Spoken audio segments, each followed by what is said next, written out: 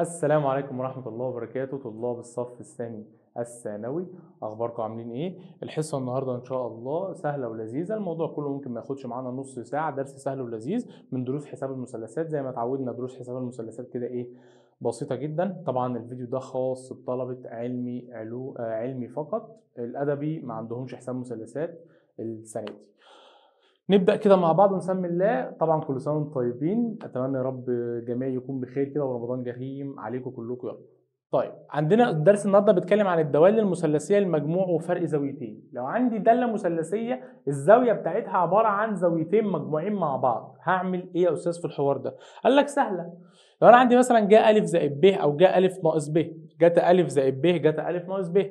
ظا ألف زائد ب ظا ألف ناقص ب. هعمل إيه؟ قال لك عندنا كده حاجة بتحفظنا الحوار ده بطريقة سهلة كده ولذيذة. إيه هي؟ قال لك القانون بتاع الجاء بيكون عبارة عن إيه؟ قال لك قانون الجاء بيبقى عبارة عن جاء جتا ركز كده معايا جتا جاء. تاني يا أستاذ ركز كده هحفظهم لك بطريقة حلوة كده. قانون الجاء ببدأ بالجاء يبقى جاء جتا جتا جاء. طيب نفس الكلام تحت آه يبقى جا جتا جتا جا وبعد كده يا أستاذ تبدأ توزع الألف والب بالترتيب اهو ألف ب. ألف ب. اهو. طيب وبعد كده قال لك الإشارة بتاعتك في الجا زي ما هي يعني الإشارة دي موجب فهنا موجب. الإشارة دي سالب ففي هنا كده سالب. يعني يا أستاذ حضرتك عايز تقول إن جا ألف زائد ب هتساوي جا الزاوية الأولى جت الزاوية الثانية جت الزاوية الأولى جا الزاوية الثانية. طبعا مش هنحفظها كده. خلاص. جا جتا جتا جا واحط الزاوية بتاعتي زي ما هي والإشارة بتاعتي زي ما هي. طيب لو جينا للجتا قال لك قانون الجتا. مش الجا بدأنا بجا؟ آه نفس الكلام قانون الجتا. برضه هنبدأ بجتا. بس قانون الجتا بيقول إيه بقى؟ جتا. جتا. جا. جا. قانون الجتا يا أستاذ. جتا. جتا. جا. جا. طيب. ثم هنعمل إيه؟ نفس الكلام أهو.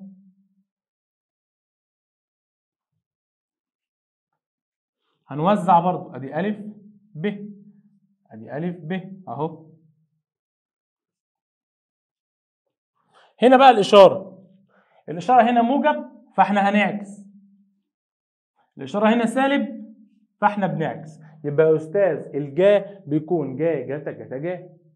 الإشارة بتاعتها زي ما هي. طب الجتا؟ لا جتا جتا جا جا. بنبدأ بنفس الحاجة. الجا بتبدأ بالجا والجتا بتبدأ بالجتا. طب نيجي يا أستاذ للظا. قال لك الظا سهلة. بص معايا هتبقى ظا ألف زائد ظا ب على واحد ناقص ظا ألف ظا ب. طب تعالى نكتب التانية كده وقول لي لاحظت إيه؟ أدي ظا ألف ناقص ظا ب على واحد زائد ظا ألف ظا ب. أستاذ الإشارة دي بتتحط فوق وبتتعكس تحت. أهو الإشارة. بتتحط فوق زي ما هي وبتتعكس تحت. فوق مجموعين أو مطروحين على حسب الإشارة تحت بنعكس يا أستاذ وبيتضربوا في بعض. كده خلاص كده خلصنا القوانين. وعايز أقول لك على حاجة كده الدرس شرحه خلص ومفيش أي حاجة تاني في الشرح. اللي جاي كله أمثلة شوية أمثلة صغيرة والدرس يخلص. الموضوع يعني زي ما قلت لكم أبسط مما يكون. يبقى يا أستاذ قانون الجا جا جتا جتا جا. قانون الجتا جتا جتا جا جا. وهكذا يا أستاذ. طيب تعالى كده نبص مع بعض. ده الملخص بتاع القوانين. الراجل بيقول لي إيه؟ إن جا ألف زائد أو ناقص ب يبقى قانون الجا جا جتا جتا جا. موجب تبقى موجب سالب تبقى سالب. طب قانون الجتا جتا جتا جا جا. موجب قدامه سالب. بص كده ركز الموجب قدامه سالب لأن إحنا بنعكس. السالب قدامه موجب. طب يا أستاذ ظا ألف موجب أو سالب ب أدي ظا ألف موجب أو سالب ظا ب نفس الإشارة اللي هنا بتبقى هي هنا. وتحت بعكس واضربهم. ده كده ملخص القوانين تعالى كده نشوف المسائل وبتتحل إزاي نبدأ بحاجة بسيطة كده. ما بتجيش بس تعالى إيه نطبق بيها كده. بيقول بدون استخدام الحاسبة الجيب أوجد كل مما يأتي. ما يا أستاذ لو السؤال ده جالي في اختياري هعمل إيه؟ هتستخدم الآلة عادي جدا. هو أنا هيعرف منين؟ الفكرة كلها إن لو سؤال زي كده في المقالي هو يعني ما بيجيش في المقالي. بس تعال نشوف بيتحل إزاي. الراجل بيقول لي عايزك تجيب لي جا 105 من غير آلة. طب يا أستاذ أجيب الجا 105 إزاي من غير آلة؟ حضرتك المفروض حافظ شوية دوال أساسية كده زي إيه؟ عندك ال 30 ال 45 ال 60 الكلام ده كله المفروض إن حضرتك حافظه وثابت. طيب تبدأ تشوف ال 105 دول ممكن نعملهم من إيه؟ أستاذنا لو حطيت ال 60 على ال 45 يدوني 105 خلاص يبقى أنا ال 105 دي هعملها. جا 60 زائد 45 دي مجموع زاويتين. قانون الجا. جا جتا جتا جا. وزع الزاوية. أدي 60 45 أدي ال 60 ودي ال 45 الإشارة هنا إيه؟ موجب. يبقى موجب. كده حضرتك خلصت. أستاذ وبعد كده هات كل واحدة لوحدها بقى. الجا 60 بكام؟ جذر 3 على 2 الجاتا 45 جذر 2 على 2 زائد الجاتا 60 بنص في الجا 45 بجذر 2 على 2 تعمل الكلام ده على الآلة. طلعت الناتج بتاعي. طيب نفس الكلام في كل الحاجات التانية. أستاذ بس أنا في حاجة. آه دي عادية. ال 45 هتتعمل إيه؟ هتتعمل وليكن جا عندك مثلا ممكن نعمل 45 ناقص 30 ممكن نعمل 60 ناقص 45 الاثنين صح. طبق قانون الجا جا جتا جتا جا طب هنا يا أستاذ الجتا تعالى كده نبص مع بعض. جتا سالب 15 لازم تبقى عارف حاجة مهمة جدا. اللي لو أنا عندي جا سالب سيتا. جتا سالب سيتا. ظا سالب سيتا. في دالتين مثلثيتين ما بتاكلش السالب بترميهم بره. وعندي داله واحدة هي اللي بتاكل السالب بتمحيه. مين اللي بتاكل السالب؟ الجتا. يعني الزاوية بتاعتي لو فيها سالب شيله ملهوش لازمة. طب السالب لو جوه الجاء طلعه بره. طب لو في الظا طلعه بره. حضرتك تقصد تقول يا أستاذ إن جاتا سالب 15 هي هياها جاتا 15 بالظبط كده.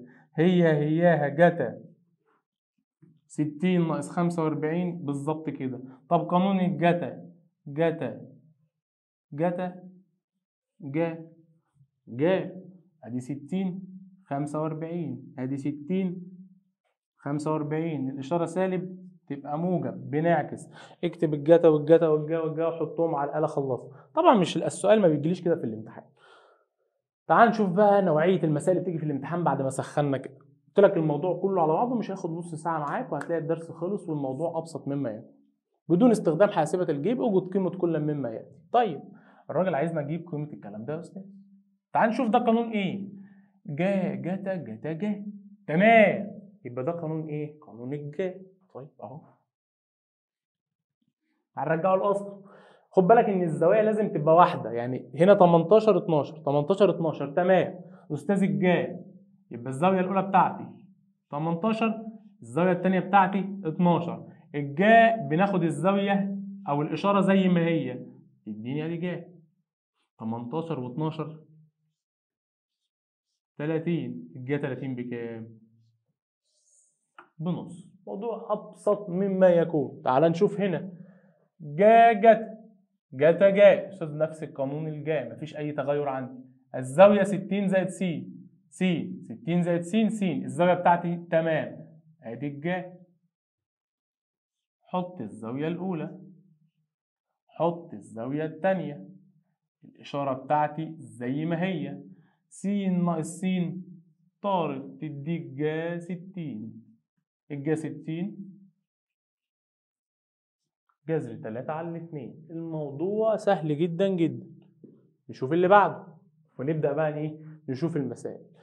أستاذ ده قانون الجتا جتا جتا جتا جا إيه ده بقى؟ في هنا حاجة غلط. المسألة غلط. لا مش غلط بالراحة. اولا يا أستاذ جتا جتا ده قانون الجتا تمام؟ أهو تعال نكتبهم كده. بس يا أستاذ المفروض الناحية التانية جا جا صح. وخد بالك من حاجة كمان ده الزاوية هنا 78 والزاوية هنا 12 ما ينفعش لازم يكونوا شبه بعض. طب بص المنظر ده كده.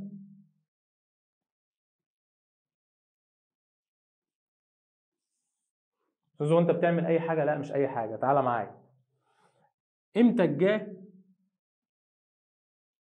تساوي الجتا؟ دي زاوية ودي زاوية تانية. إمتى الجا بتاعت زاوية تساوي جتا للزاوية التانية؟ قال لك يا أستاذ عندي شرط واحد. وخدناه قبل كده مليون مرة. إن مجموع الزاويتين يكون بيساوي 90 بمعنى بمعنى يا أستاذ إن الجا 30 هي هي الجاتا 60 دي بنص ودي بنص. بمعنى إن الراجل لو جه قال لي الجا 35 هتبقى هي هي الجاتا 55 طب تقصد تقول إيه يا أستاذ؟ استفدنا إحنا إيه من الكلام ده؟ بالراحة. أهو امسح كده. أنا عندي هنا إيه؟ جاتا 12 أنا عايز أخليها جا.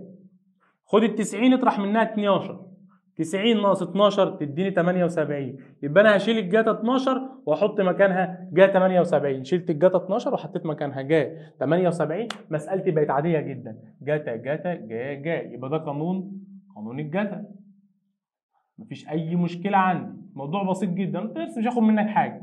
الزاوية الأولى 78 الزاوية الثانية 18 أستاذ الإشارة موجب تبقى سالب. بنعكس في الجاتا. ادي الجاتا 78 ناقص 18 تديني 60 جاتا 60 بكام؟ بنص. نكمل يا أستاذ. يبقى الجاتا 60 طلعت لي بكام؟ طلعت لي بنص. طيب امسح الجزء ده كده. ونكمل. نشوف هنا. جاتا جاتا جا جا. سهلة وثابتة يا أستاذ. ده قانون الجاتا. طب نتأكد من الزوايا. باي على الأربعة ناقص س س باي على الأربعة ناقص س س تمام. يعني على طول هتحط الجتا أهو. أدي الزاوية الأولى. باي على الأربعة ناقص السين الزاوية التانية. س الإشارة سالب يا أستاذ. حاضر. أهو. الجتا بنعكس الجتا بنعكس الإشارة على طول. طيب. ناقص س طارت مع موجب س يبقى لي جتا باي على الأربعة. طب يا أستاذ تبقى جتا كام؟ إحنا قلنا يا أستاذ الباي بتاعتي بنحطها في الكلام ده ب 180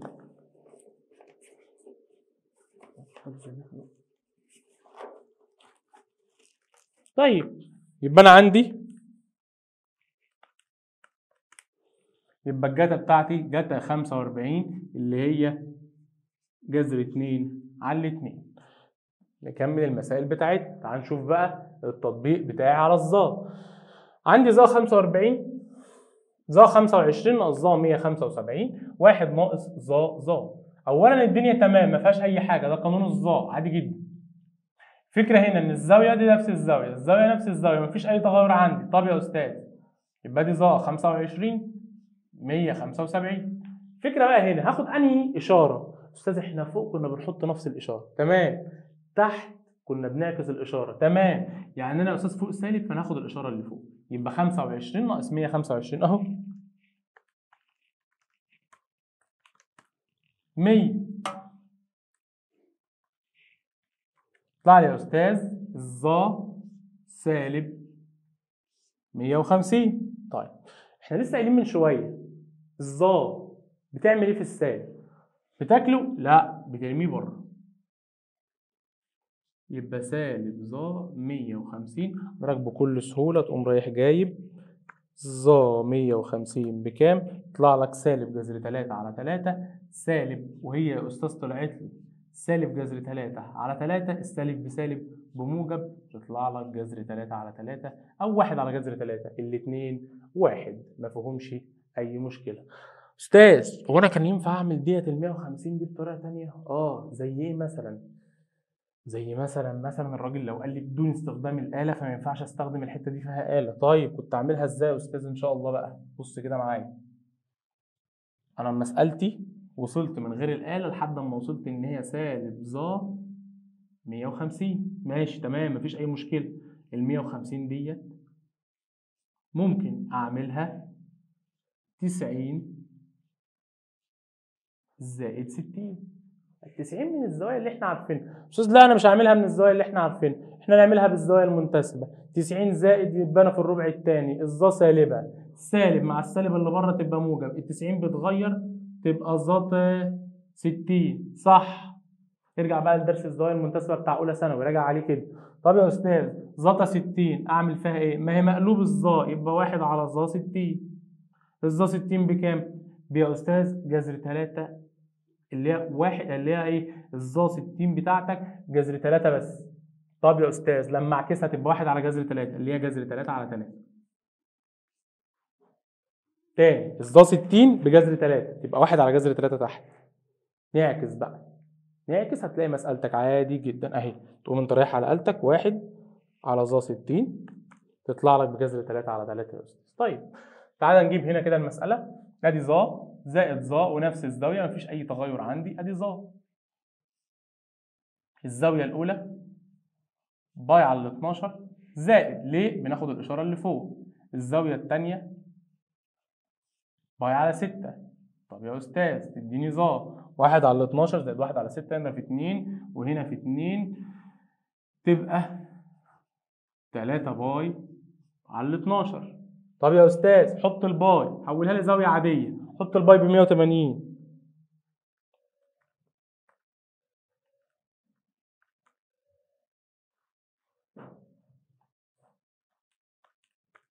يبقى ب 45 ظا 45 يا أستاذ بتساوي واحد. الموضوع بسيط جدا جدا. تعال نشوف أنواع أمثلة تانية. راجل بيقول لي اثبت أن الظا 50 بتساوي واحد زائد ظا 5 على واحد ناقص ظا 5 أعمل إيه؟ طيب تعالى كده نمشي حتة حتة مع بعض. الظا 50 دي ممكن تتعمل إيه؟ أنا اولا عندي هنا ظا 5 تمام. يبقى أنا عايز من ال 50 أوصل للخمسة. ماشي. يبقى أنا يا أستاذ لو سمحت هعمل الظا 50 ديت هعملها 45 زائد 5 ليه؟ ما ال 45 زاوية من الزاويه اللي إحنا عارفينها. الزاويه بتاعتنا الجميلة. ومعانا الخمسة. 50 45 و5 يدوني ال 50 بتاعتي تمام. أنا دلوقتي بشتغل على إيه؟ على الطرف الأيمن. طبق قانون الظا أدي ظا زائد ظا 45 و5 الإشارة زي ما هي. الحمد لله. تحت يا أستاذ واحد ناقص بعكس الإشارة. ظا 45 ظا 5 طب تعالى كده مع بعض. هي الظا 45 بكام؟ بواحد أهو. ظا 5 واحد ناقص. الظا 45 بواحد واحد في ظا 5 ظا 5 طب وبعد كده يا أستاذ ولا قبلين؟ بص فوق كده.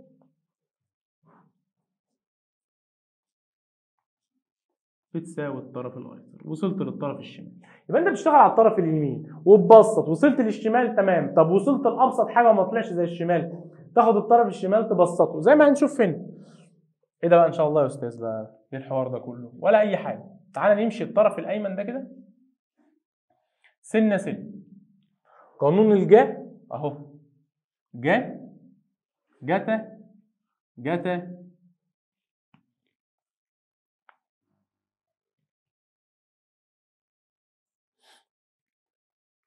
جا طيب يبقى جا 30 ألف. 30 ألف. الإشارة بتاعتي يا أستاذ سالب في الجا زي ما هي. زائد هنشوف قانون الجتا.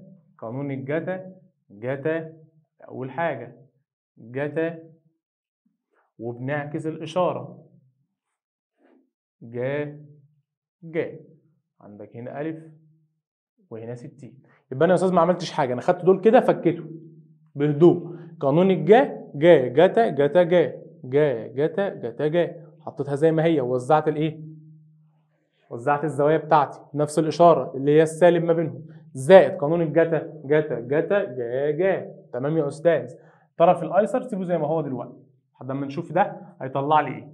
عندي جا 30 جتا 1000 ناقص جتا 30 جا 1000 زائد جتا ألف جتا 60 طب تعالى نبسط كده. الجا 30 بكام؟ بنص. جتا ألف. ناقص. الجتا ست... الجتا 30 بكام؟ جذر 3 على الاتنين. جا ألف. الجتا 60 بكام؟ جتا 60 يا أستاذ. بنص. نص. جتا ألف. تمام. زائد. الجا 60 بكام؟ جذر 3 على الاتنين. جا ألف. بص كده معايا. نص جتا ألف ونص جتا ألف. يعملوا لي إيه؟ يعملوا لي جتا ألف واحدة. طيب سالب 3 على الاتنين. ما هو نص زائد نص بواحد. سالب جذر 3 على الاتنين. زائد جذر 3 على الاتنين. طاروا. يعني يا أستاذ دلوقتي الطرف الأيمن اداني جتا ألف. بس ده مش الطرف الأيسر. يبقى حضرتك هتروح تجيب الطرف الأيسر وتبسطه. الطرف الأيسر بيساوي إيه؟ جا 90 زائد الف 90 زائد زوايا منتسبة. طب يا أستاذ الزوايا المنتسبة بنعمل فيها إيه؟ بنحدد الربع بحدد الإشارة ال 90 وال 270 كانوا بيغيروا الداله وال 180 وال 360 ما بيغيروش. ده كده ملخص سريع ليه. 90 زائد يبقى إحنا في الربع الثاني أهو بص كده. ده صفر. 90 180 270 وارجع تاني لل 360 90 زائد يبقى أنا في الربع الثاني هنا كل الدوال موجبه هنا الجا هنا الظا هنا الجتا. طبعا المقلوبات. كل جبار ظالم جاته داهية. زهقنا من الكلام. ده 90 زائد الربع ده الجا فيه موجبة. يبقى الإشارة بتاعتي موجب ال 90 بتغير. بتغير إزاي؟ فيها ت شيل الت. ما فيهاش ت حط لها ت. يبقى الجا تبقى جتا جتا إيه؟ جتا ألف. يبقى الطرف الأيسر جتا ألف والطرف الأيمن جتا ألف. يبقى الطرفان متساويان. لو الناس لسه عندها مشكلة في الدوال في الزوايا المنتسبة تقول لي هنزل لك فيديو بيشرحها بكل سهولة. نزله لكم كده من أولى ثانوي مفيش أي مشكلة تعال نشوف يا أستاذ آخر حاجة معانا. ده آخر مثال. تعال نشوف الدنيا بتتحل فيه إزاي. بص يا سيدي الراجل مديني إن الجاء ألف ب 12 على 13 وبيقول لي إن الألف محصورة ما بين باي على الاثنين وباي ومديني إن الجتا ب ب 4 على 5 والب محصورة ما بين الصفر وباي على الاثنين بص معايا كده ركز.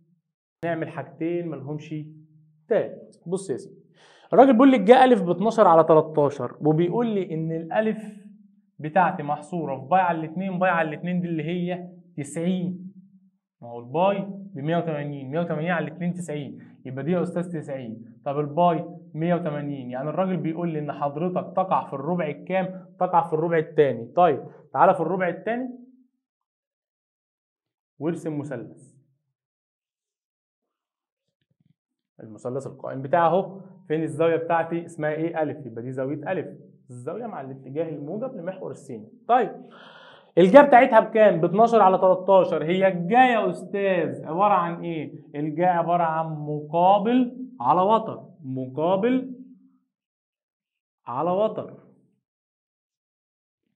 طب يا أستاذ حضرتك تقدر تجيب لي من هنا الضلع الثالث ده بكام؟ أقدر ما أقدرش ليه؟ فيثاغورس 12 و13 يبقى 13 اس 2 ناقص 12 اس 2 أعمل له جذر للكلام ده كله هيديني كام؟ يقوم يديني 5 يبقى الضلع ده بخمسة. طب يا أستاذ الكلام ده كله إحنا بنستفيد منه إيه؟ هقول لك دلوقتي تستفيد منه إيه.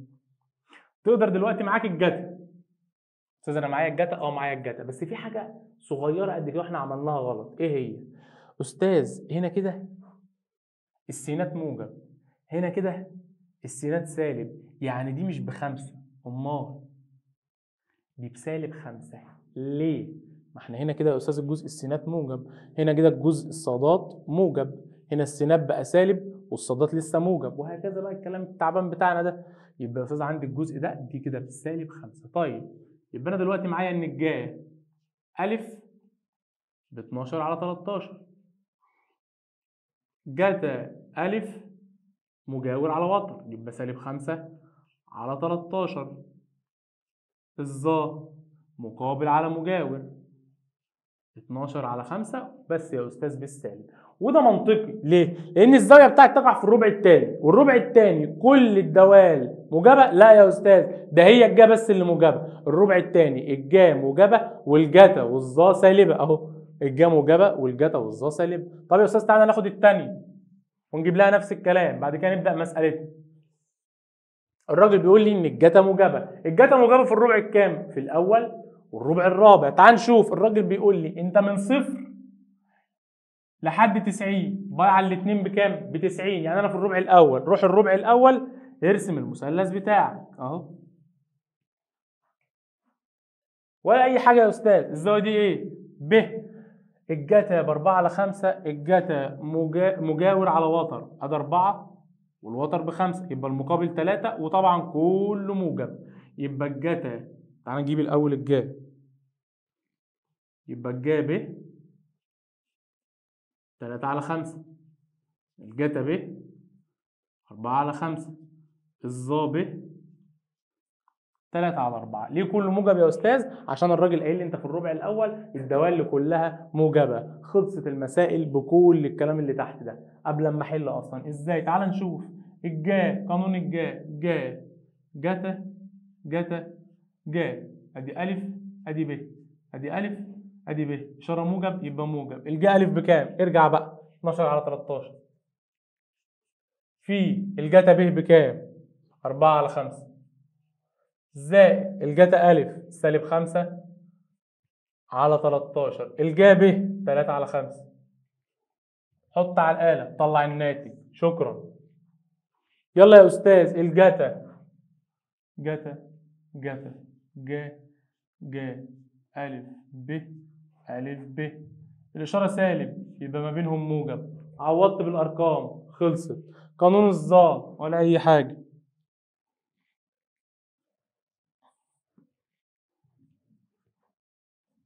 ظا ألف إشارة موجب يبقى زائد ظا ب على واحد ناقص. ظا ألف ظا ب. معايا دي؟ معايا دي. طبعا ظا معايا دي؟ معايا ديت جبت كل حاجة خلصت مسألتي. يبقى الفكرة كلها في إن حضرتك بس تكون المثلث. الفكرة كلها في إن حضرتك بس تكون لي المثلث أتمنى الدرس يكون صغير ولذيذ. أشوفكم إن شاء الله على خير الحصة اللي جاية. لو حد عنده أي مشكلة إحنا بنشوف المشاكل بتاعتكم فين في اللايف أشوفكم الحصة القادمة إن شاء الله. رمضان كريم. والسلام عليكم ورحمة الله وبركاته.